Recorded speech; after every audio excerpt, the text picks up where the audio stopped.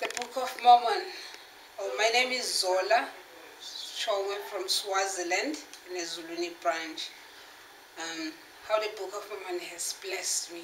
It has blessed me in so many ways. Um, whenever I read the Book of Mormon, I feel comforted. I feel the love that um, Heavenly Father has for us. That He He could bring this book in the dispensation in this time where we live in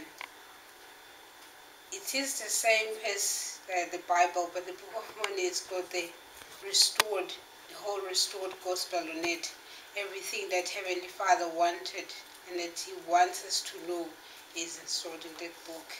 Every question that you have as a person in life, in whatever things you go through, you know you can find the answers in the Book of Mormon.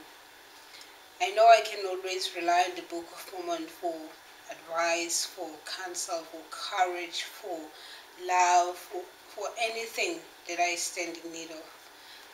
And it helps that when you read it, you can pray about it. So that's the reason that I know that it is true and it, it is another testament of Jesus Christ. Not because I've heard someone say it so, and maybe at first I said it because I heard so many people saying that it is true. But after I've read it myself and pondered about it and prayed to Heavenly Father, that He please manifested that this book is indeed true. And when I did that, I got the answer. It is true. It is another testament of Jesus Christ. And it was written by ancient prophets, just like the Bible was. It is in our last dispensation, and I love that book. I am grateful for it. I know it's true in the name of Jesus Christ. Amen.